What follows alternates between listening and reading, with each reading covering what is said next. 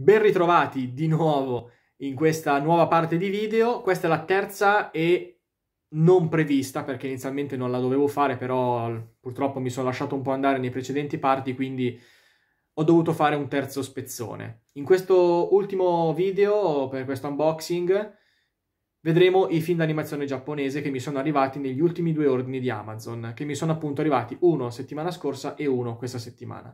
Ok, iniziamo. Ah, vi anticipo che saranno, sarà un pezzo di video anche questo, non dico lunghissimo, però perché all'interno di queste edizioni, che sono quasi tutte quante limited, ci sono dentro delle cose molto interessanti che voglio farvi vedere. Quindi non spaventatevi se durerà un quarto d'ora pure questo, però purtroppo è andata così.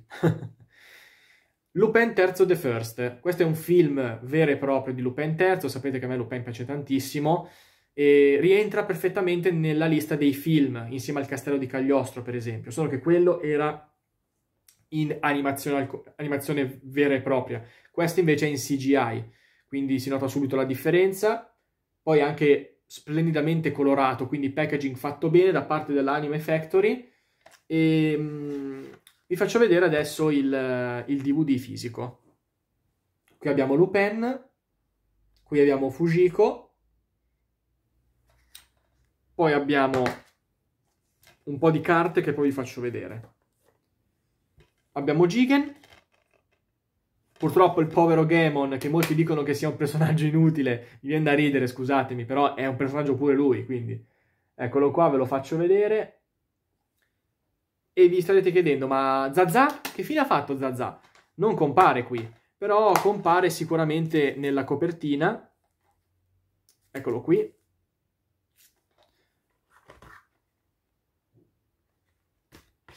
Adesso vi starete chiedendo che cosa sia questo. Ve lo dico subito. Allora, questo qui è un, um, un booklet con... Um, intanto ci sono alcune domande fatte al regista che si protraggono per altre due pagine. Poi abbiamo una descrizione dei personaggi più alcuni frame sotto del film. Abbiamo Lupin, abbiamo Jigen, Vediamo se riesco a farvi vedere. Oh, perfetto.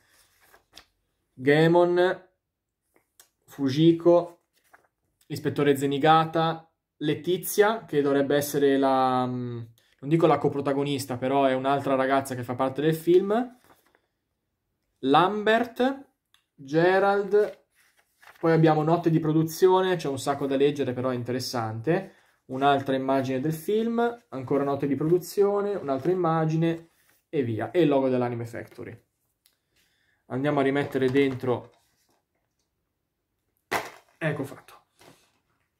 Andiamo a rimettere dentro questo, il fogliettino di, di 5 cose che devi sapere dell'anime. E poi abbiamo questa confezioncina di plastica con uh, le carte limited. Non ve le faccio vedere tutte perché sinceramente queste sono anche da collezione, magari me le guardo per conto mio, poi magari in un video ve le farò vedere però dentro ci sono 6 card, ci sono 5 carte con Lupin, Jigen, Gemon, Fujiko e Zenigata, mentre la sesta mi sembra che sia Lupin placcato oro, se non vado errato, da quello che ho visto nel, nella immagine di Amazon.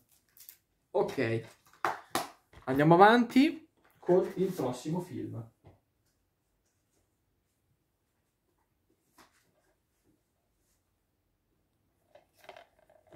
L'impero dei cadaveri. Questo è uno dei tre film del famoso Project Ito. Project Ito è il nome in codice di Satoshi Ito, un, uno sceneggiatore eh, di fantascienza, purtroppo deceduto all'età di 35 anni a causa di ripetuti problemi ai polmoni. Inizialmente non, non gli dava troppo peso, però poi continui ricoveri, poi alla fine è diventato addirittura quasi un mezzo cancro e se n'è andato a una giovane età un team di, di, sceneggiatori, animatori e registi hanno voluto trasporre in tre pellicole suoi, eh, le sue trame, diciamo, i, su- i, suoi scritti. Questo è uno dei suoi film. Eh, ovviamente non possiamo dire che sia diretto da Project Tito, ma la sceneggiatura è partita da lui.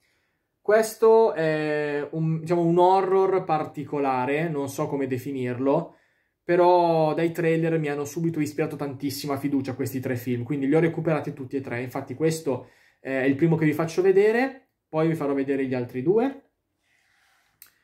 la Yamato Video ha voluto farci un bel regalo perché sono stati distribuiti proprio dalla, Yamato. Vedete qui in basso. Ah, c'è anche il logo dell'Anime Factory. Non me ne ero accorto.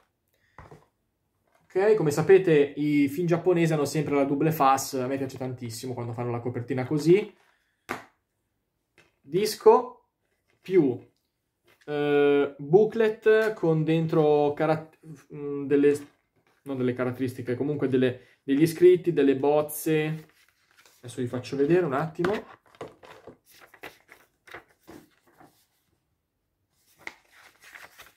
Sono delle bozze dei personaggi, dei disegni.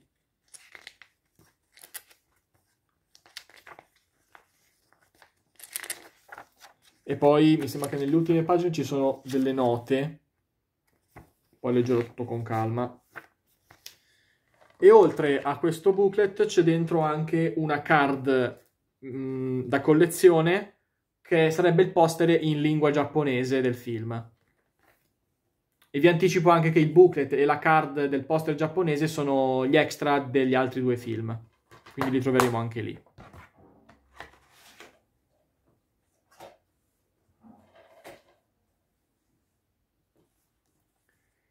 L'organo genocida, questo è un, più un action cyberpunk che un horror, ma non dovrebbe mancare anche qua la parte eh, horror, anche se si parla più di fantascienza, se devo essere sincero.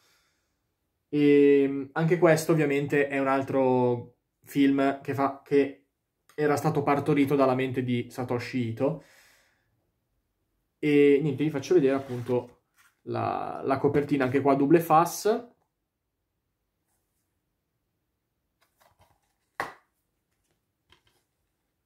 Questo è l'interno, il classico booklet, ve lo faccio vedere così. Al contrario, però fa niente. Solite bozze con in fondo anche le note interessanti. E poi la famosa card. Ok. Io sinceramente le card de del poster, queste qua, non le, non le aprirei neanche perché sono più belle così. Lo so che sono da collezione, però sono troppo belle incartate qua dentro, quindi io tranquillamente me le terrei così, tanto eh, si deve vedere solo il davanti, quindi, cioè, va bene, il retro è fatto così, ok? Ci sono i loghi della Yamato Video e dell'Anime Factory, però mi piacciono troppo anche, diciamo, rinchiuse in questa pellicola di plastica, molto, uh, fanno molto punto collezione. Ok, siamo quasi alla fine. Insomma, fine mica tanto, ne mancano... Con questo, con questo sono tre, però Ehm, poi vediamo. Harmony. Anche questo fa parte della trilogia di Project Tito. Secondo me il film è anche forse più leggero rispetto agli altri due. Anche questo è una sorta di action fa- sci-fi con anche dentro forse un pelino di, di fantasy, se così si può dire. E, ehm, è appunto il film forse più luminoso per quanto riguarda il concept, per quanto riguarda anche la copertina e il, il cofanetto.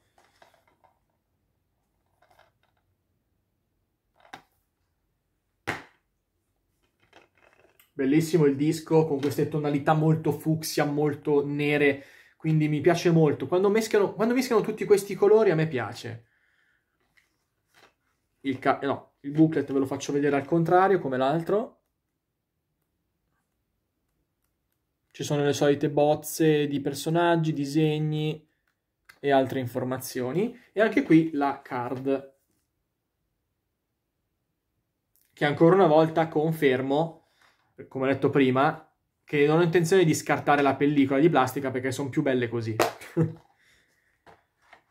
Bene.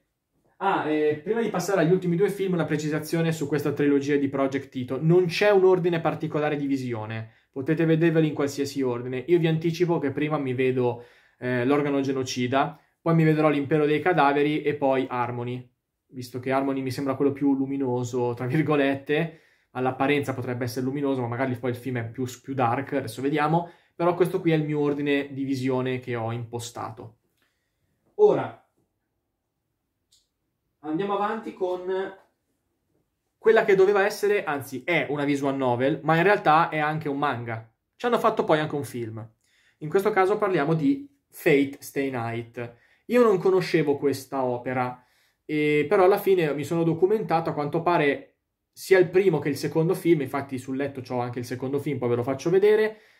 Eh, sono stati molto ben recensiti da critica e pubblico, soprattutto lodando la qualità grafica delle immagini. Infatti lo studio di realizzazione che si chiama UFO Table, che dal nome potrebbe sembrare inglese ma in realtà è nipponico al 100%, hanno fatto quest'opera, che è divisa in tre film. Il terzo film purtroppo non è uscito causa pandemia, quindi speriamo che esca presto. O magari a sto punto mettiamolo direttamente in un video che facciamo prima. Ma siccome questi due film hanno fatto molti incassi, in Giappone soprattutto, eh, anche in Italia ovviamente un po' di incassi li hanno fatti, ma sapete che come vengono trattati i film giapponesi in Italia, rimangono due o tre giorni e poi vaffanculo in un video, vabbè. Io non sono d'accordo su questa politica di rilascio dei film giapponesi, ma lasciamo stare perché tanto la mia opinione da comune mortale non la guarderà nessuno di quelli al potere nella distribuzione. Comunque, Fate Stay Night diciamo che è... Mm, non so, allora, intanto è giapponese, animazione giapponese, però possiamo mischiare dentro anche l'azione, l'avventura, il drammatico, anche un pelo di horror. Mentre nel secondo film, vi anticipo, oltre a questi generi c'è anche una punta leggera di erotico. Ci sono alcune scene con diversi riferimenti, però non è assolutamente esplicito, anche se all'apparenza potrebbe sembrare. Il DVD aveva, aveva perché l'ho tolta, questa carta che tu ci metti, eh, adesso al contrario, aspetta che lo giriamo, ci mettevo appunto il film dentro, però quando lo inserivo mia, nel mio scaffale avevo paura che si rovinasse la carta, infatti devo stare molto attenta quando lo metto a posto. Um, DVD First Press della Dynit. First Press vuol dire che è la prima stampa, infatti sono film abbastanza nuovi. Uh, 2018 il primo, 2019 il secondo. Sì, esatto. Cofanetto di cartoncino che si toglie. Dietro, perché purtroppo nella, nel, nella, custodia fisica del DVD non ci sta per pochissimi millimetri, abbiamo il booklet con diverse immagini. Un attimo che appoggiamo il DVD.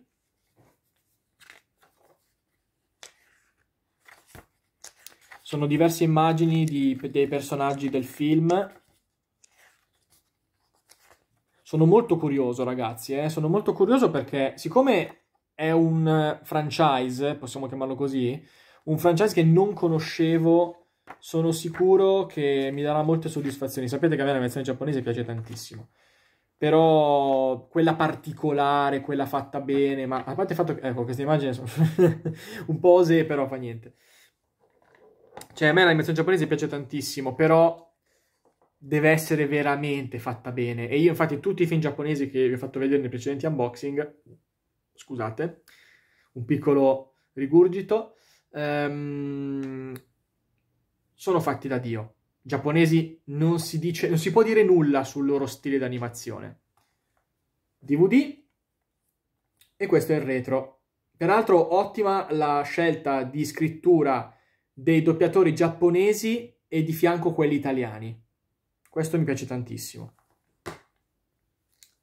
Disco. Poi abbiamo una copertina che se la metto ad una fonte di luce appropriata sembra quasi metallizzata.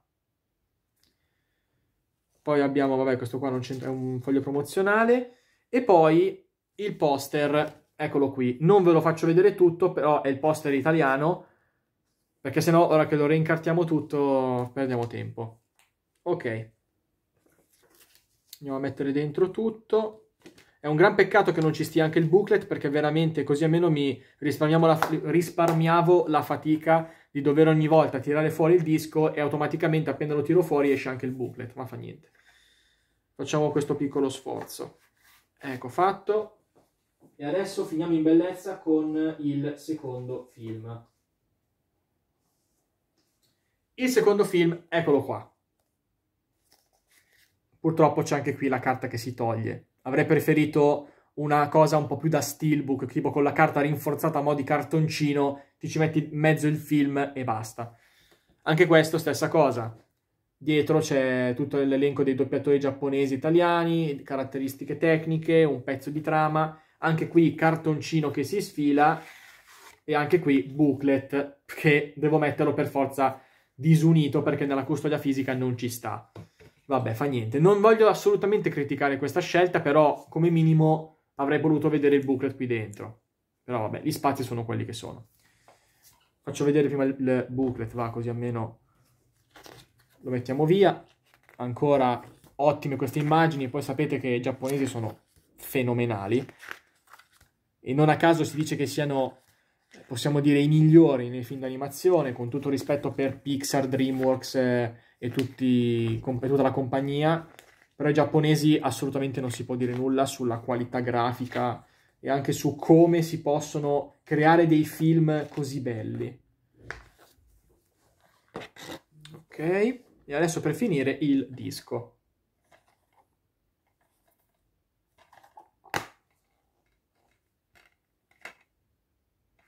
Anche qui poster in italiano. E qui c'è anche la famosa card che veramente toccandola sembra di metallo anche perché risplende la luce, quindi sembra fatta con... sembra una specie di litografia. Forse questo è il termine giusto. Col logo del film dietro. Perfetto. Ok, andiamo... No, la litografia la mettiamo davanti perché sennò si rovina. Um, a posto. Chiudiamo qua. Booklet dietro. A posto. rimettiamo il cartoncino. Questa è l'unica, critica che faccio. Avrebbero dovuto mettere un cartoncino più rinforzato invece di questa, che basta un niente per spaccarla. Ok, ragazzi, abbiamo ufficialmente finito e abbiamo anche sforato il quarto d'ora, quindi direi di fermarmi. Vi anticipo un'altra cosa prima di concludere, questo sarà l'ultimo unboxing che vedrete per un po' perché non ne farò più probabilmente fino a marzo-aprile perché in quel periodo escono dei giochi interessanti per i quali voglio risparmiare un po' di soldi. Quindi per i film direi che sono a posto, anche perché tra il mese scorso e questo mese avrò recuperato quasi una, settan... una settantina di film tutta, quindi direi di fermarmi qua. Ci vediamo al prossimo video, grazie ancora della vostra attenzione e vi chiedo ancora scusa per l'eccessiva lunghezza a tratti di questi video, però voglio essere super dettagliato quando faccio questi unboxing, ok? Benissimo. Ricordatevi, se non l'avete ancora già fa- fatto, di iscrivervi al canale per ehm, stare in mia compagnia, perché comunque ci saranno altri video prossimamente, e di attivare la campanella delle notifiche per essere aggiornati sui nuovi video che pubblico, ok? Alla prossima! E grazie ancora di essere rimasti in mia compagnia. Ciao ragazzi!